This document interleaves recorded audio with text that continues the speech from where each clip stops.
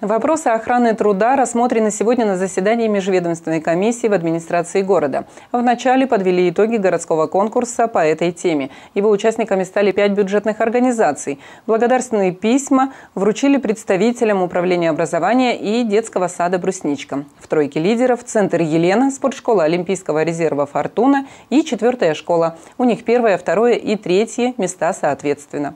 После торжественного момента члены комиссии по охране труда перешли к рассмотрению вопроса о несчастном случае на производстве. Он произошел в конце августа с водителем большегруза в районе Таркасале. Мужчина работал у Губкинского индивидуального предпринимателя. Вид происшествия – это дорожно-транспортное происшествие.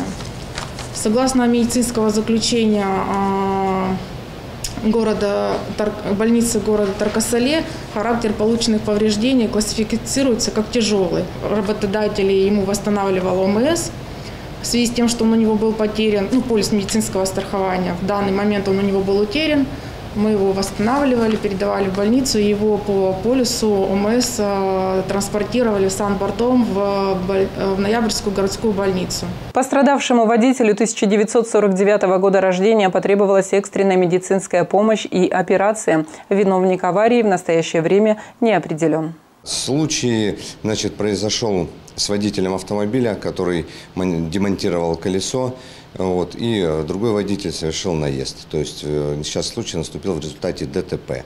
Вот. Но расследование окончательно не закончено, так как э, органы следствия еще продолжаются, вот, и материалы дела будут пересмотрены. По информации, которую предоставил работодатель, оказана была финансовая помощь. Ну, изначально эта помощь была доставка в больницу пострадавшего.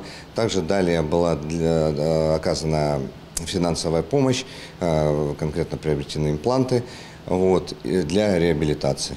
По итогам заседания представители комиссии подчеркнули важность соблюдения техники безопасности на любом производстве. Также отмечена необходимость введения программы производственного контроля за охраной труда. Следующее заседание Межведомственной комиссии намечено на ноябрь.